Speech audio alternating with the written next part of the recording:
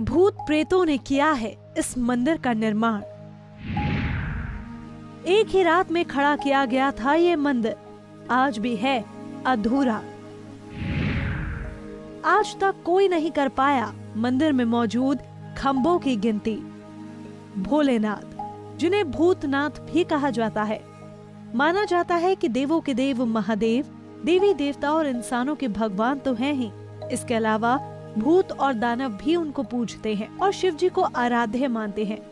ये बात भी सब जानते होंगे कि भगवान शंकर की शादी में देवी देवताओं के साथ साथ भूत प्रेत भी बाराती बनकर आए थे। इन्हें सभी देवी देवताओं से अनोखा माना जाता है।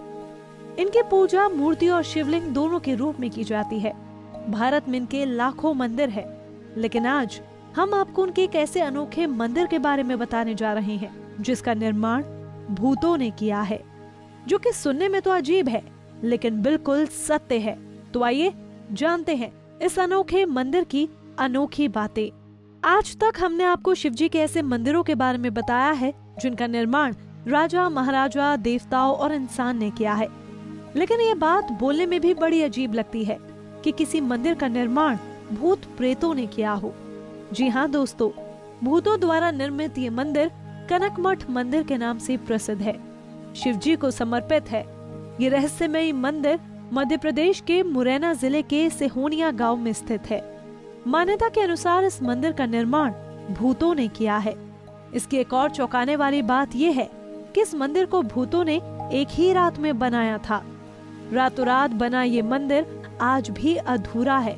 कहा जाता है, इसे बनाते बनाते जब सुबह हो गई तो भूतों को काम अधूरा छोड़कर जाना पड़ा। आज भी इस मंदिर को देखने पर यही लगता है कि इसका निर्माण अधूरा रह गया है। इस मंदिर की हैरान करने वाली बात यह है कि इस मंदिर के निर्माण में मिट्टी, सीमेंट और चूने का प्रयोग नहीं किया गया। ये मंदिर पत्थर की बड़ी बड़ी शिलाओं से बना है। यहाँ की एक और खास बात यह है कि इस मंदिर में लगे पत्थर दूर दूर तक नहीं मिलते।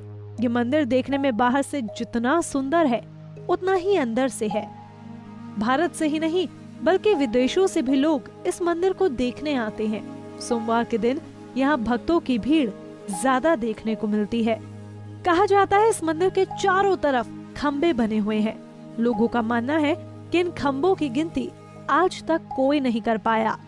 यहाँ आने वाले लोग इस मंदिर के बारे में जानकर दंग रह जाते हैं। यहाँ आने के बाद लोगों के मुँह से एक बात ज़रूर निकलती है।